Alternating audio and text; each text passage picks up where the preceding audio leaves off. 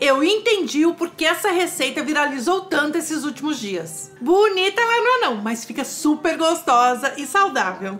Vamos aprender essa receita que está viralizada nas redes sociais. Hum. Você vai começar fatiando um pepino. Agora uma cebola roxa. Não esquece que essa receita tem que ser feita numa vasilha com tampa. Vamos usar meio abacate ou um avocado, que é aquele abacate pequenininho e ele é um pouquinho mais doce. Mas se você não tiver ele, não tem problema. Pode usar o abacate normal que a gente vai solucionar o probleminha do adocicado.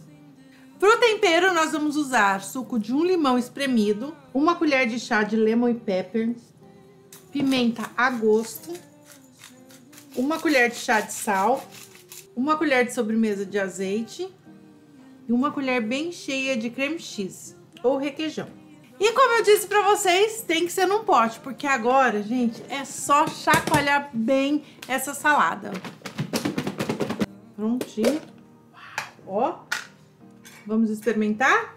Bonita não fica não, mas, ó, hum, hum, fica de deixar like de tão boa que é, muito boa. Hum. Façam que a receita é top, deixa like e compartilha aí com todo mundo que você conhece, a receita é boa. Agora vamos agradecer a Deus com a pitadinha do Evangelho.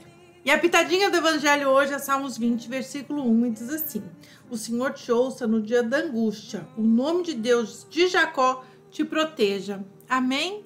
E ele confirma isso aqui em Mateus, versículo 11, 28, dizendo assim, ó. Vinde a mim todos os que estão cansados e oprimidos, e eu vos aliviarei. Amém, meus amores? Não esqueça de buscar o Senhor de todo o seu amor, todo o coração, de todo o entendimento. Só Ele tem alívio para tua alma. Amém? Beijos, fiquem todos com Deus e até o próximo vídeo.